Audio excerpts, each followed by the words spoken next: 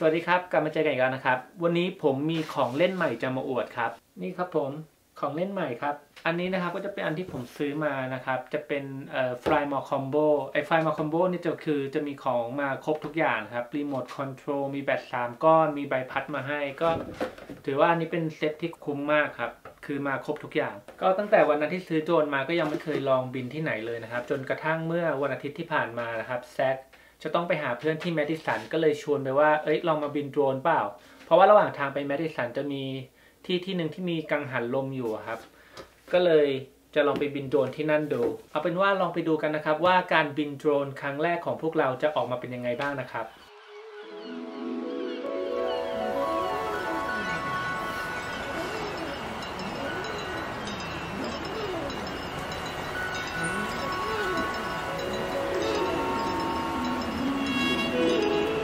ใ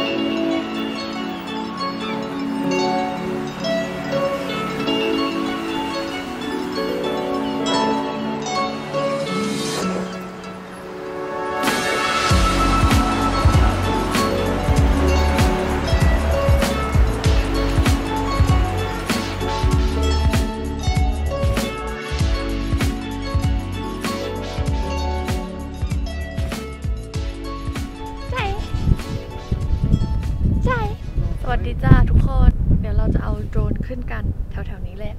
เป็นกังหันลม ขับรถมาประมาณสองสามชั่วโมงโดรนเพิ่งซื้อมาใหม่เดี๋ยวจะบินพาจะบินให้ดูอยู่นู่นหมุนสิ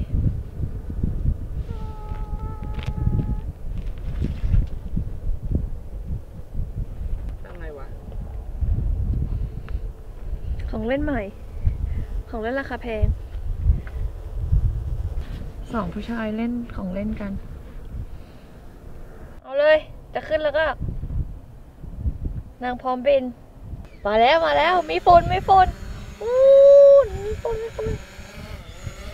ขึ้นเองขึ้นเองมันต้องได้เองเอาไปแล้ว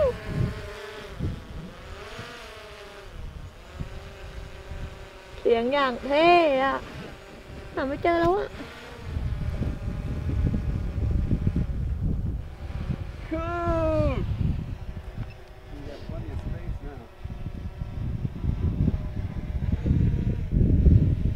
เหมือน เด็กได้ของเล่นอะทุกคน Yeah right now is 168 feet high มันขึ้นได้ประมาณ 5,000 5,000 เมตร ครึ่งกิโล มันขึ้นได้ประมาณครึ่งกิโลป่ะได้ห้ามห้ามห้ามเกิน 400 โอ้ so high